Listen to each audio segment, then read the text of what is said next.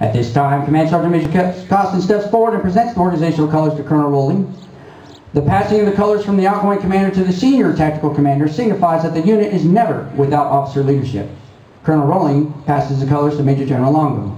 The passing of the colors from the senior tactical commander to the incoming commander signifies the passing of his trust and also the responsibility for the unit and its soldiers.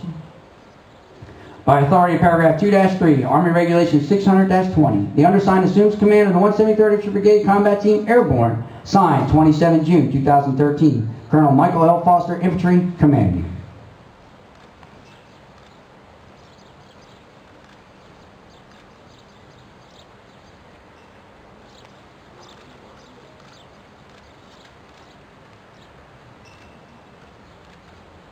Andy did not want me to talk about the largest airborne operation since this brigade jumped into Iraq in 2003. Nor did he want to talk about three CTC rotations, nor did he want me to talk about commanders in Afghanistan actually fighting to get this brigade into their regional command because of its reputation for discipline.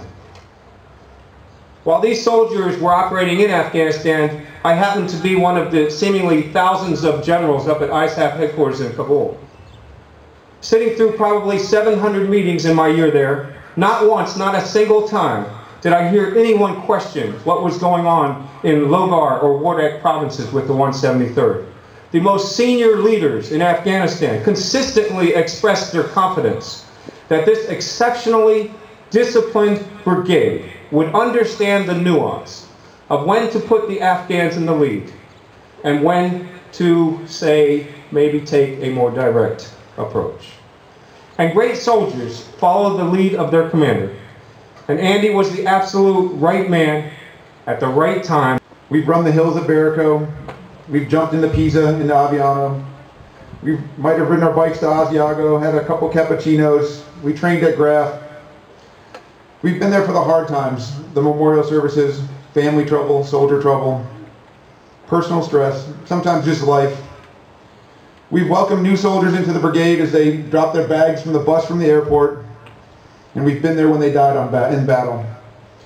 Thankfully, the goodness has always outweighed the bad.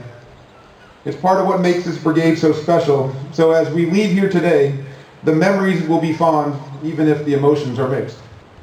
To the paratroopers of the 173rd, I am familiar with your lineage and proud history, as well as your recent accomplishments and achievements. Reggie and I are thrilled to be a part of this team, and I am truly honored and humbled to stand in your ranks. I look forward to our time and to the challenges we will face and overcome together. Sky Soldiers.